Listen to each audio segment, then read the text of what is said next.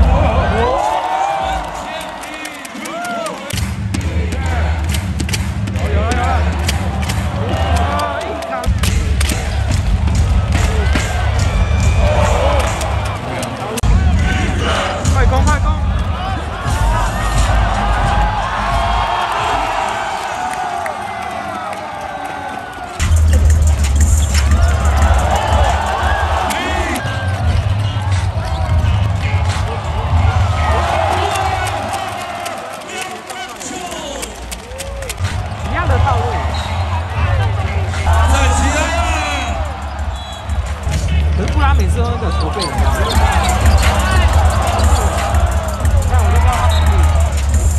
然后我这边，然后我这，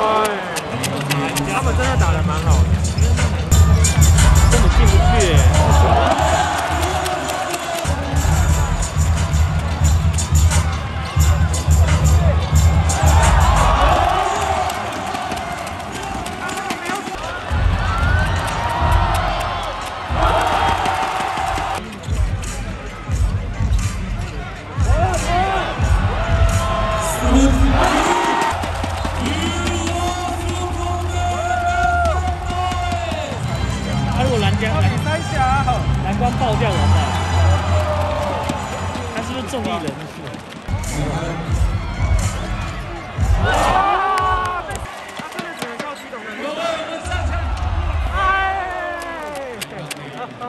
黄手，回答回答黄手，哎，传球，对对对对对对！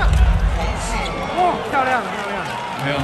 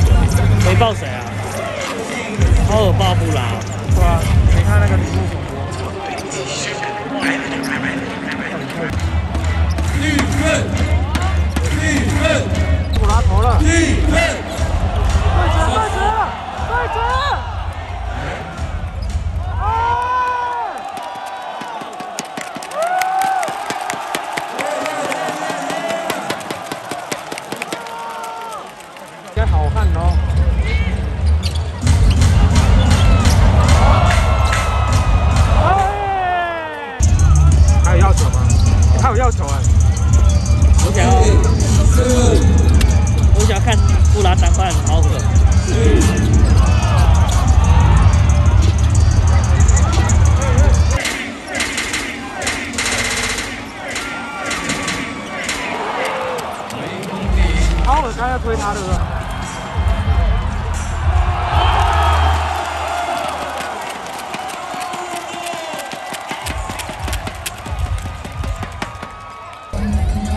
哎有可能会没人捡到丢下来。十万杯。好，